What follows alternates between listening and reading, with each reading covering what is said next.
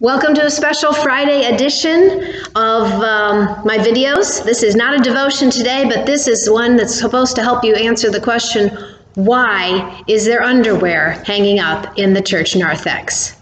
Great question. Glad you asked. Let me show you a little bit more. It's not just boxer shorts and underwear. There's gloves right here, special shampoos, body powder, deodorant, toothbrushes, toothpaste, twin sheet sets, pillows.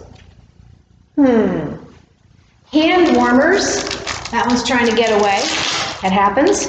Ever seen these hand warmers? Right? All of these things are here to remind you and me to be generous because God has given us so much. Imagine a day when you don't have these important things in your home to use a pillow or sheets, or even more, you don't even have a home. Okay, so you can see where I'm headed on this. When you go shopping, and you may have already seen this in your newsletter, when you go shopping in the next couple weeks and you need to buy any of these things for yourself or your family members, double up.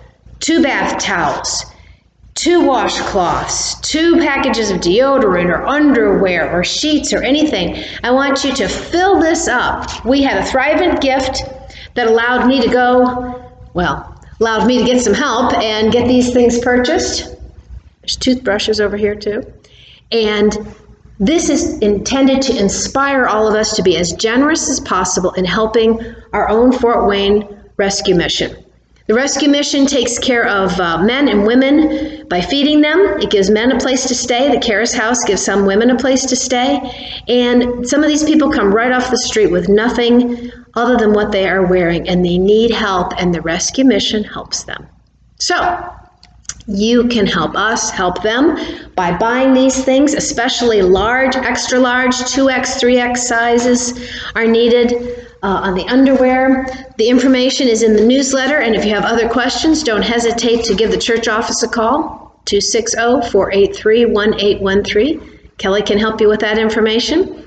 And just during the next few weeks, come fill up this table, fill up the box and the bin that are here, and let's show an incredible Gethsemane warm response to keep people comfortable. It's, it's still warm outside right now, but it's going to get cool. As the cold weather comes, those hand warmer packets, gloves, and follow the list, please, and buy the new items and share them with the rescue mission.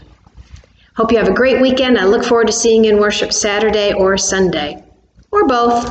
Bye bye.